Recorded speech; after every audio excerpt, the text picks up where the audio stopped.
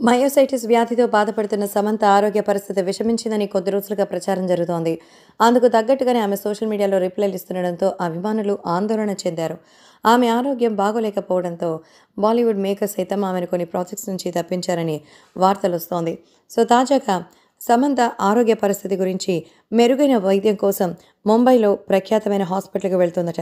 మరి సమంత ముంబై ఎయిర్పోర్ట్లో ప్రత్యక్షమైన సంగతి తెలిసిందే. మెరుగైన వైద్యం కోసమే ముంబైలో అడుగుపెట్టిందట సమంత.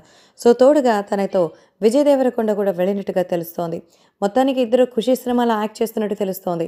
మరి ఆ లొకేషన్ ఫైనలైజ్ కోసం వెళ్ళారా లేదా సమంత హాస్పిటల్కి వెళ్తుందని తోడుగా వెళ్ళారో తెలియదు కానీ సో విజయ్ సమంతతో పాటు వెళ్తున్నట్టుగా సమాచారం.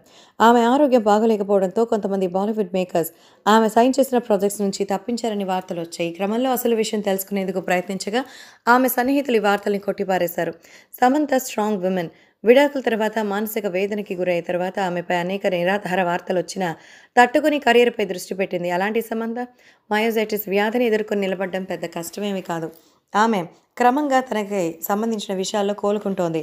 త్వరలోనే షూటింగ్లో జాయిన్ కాబోతుందంటూ శామ్కి అభిమానులు గుడ్ న్యూస్ చెప్పారు ఆమె సన్నిహితులు.